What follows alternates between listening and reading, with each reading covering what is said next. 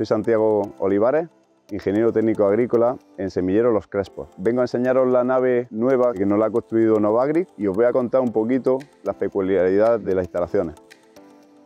Por la demanda que teníamos de nuestros clientes, decidimos realizar otra ampliación de otros 12.000 metros. Decidimos con Novagri porque nos garantizaban unos estándares de construcción y de arco que nadie en el mercado nos lo aportaba. Eran 14 metros con 40 de arco con el fin de aprovechar el máximo espacio posible para extender el mayor número de bandejas, que en 12.000 metros tendremos 5 millones de plántulas de pimiento.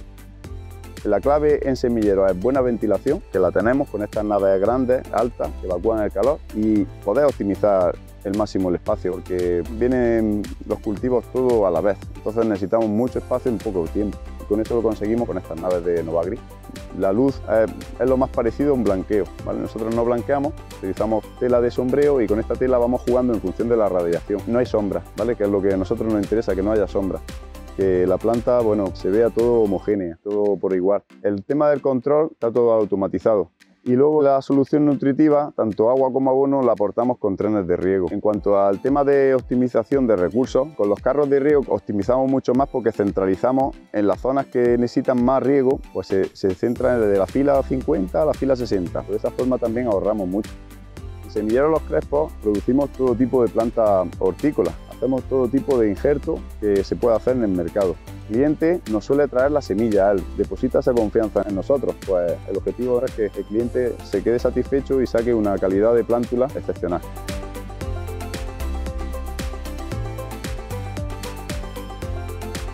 Pasa por una zona que es la zona de siembra. Tenemos dos máquinas de siembra. Con eso conseguimos poder eh, llegar a las fechas que nos piden ellos.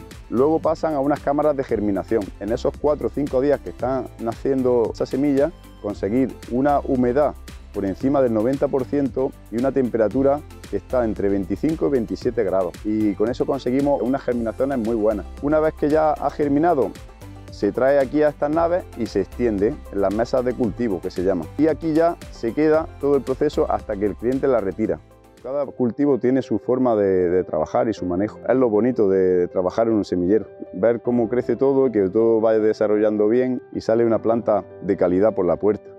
Como técnico yo me siento muy realizado aquí en Semillero Los Crespos, hablar del equipo que tenemos, que es un equipazo. Yo solo soy parte de, una, de un eslabón, de una cadena, sin ella no se puede hacer todo esto. Y ya si tienes buenas instalaciones, todo suma. La verdad que con estas instalaciones es que lo dicen los compañeros, da gusto extender bandejas aquí. Es muy fluido con los temas de los rodillos, los rulos se extienden muy rápido las bandejas, es mucho más fresca la nave, hay mucha mejor temperatura, entonces la gente trabaja también mucho más alegre. Y como una planta es un ser vivo, pues también lo nota, ¿vale? Igual que lo notan los compañeros, lo nota la planta. Y eso es, es un punto diferenciador de la nave. Es de agradecer hacia Novagris también por lo que se firmó en su momento, se ha llevado a cabo y la instalación se ha quedado Yo aquí cuando entro todos los días, entra ahí resilla y dice, joder, qué guapo se ha quedado esto. Se ha quedado muy bien, muy chula.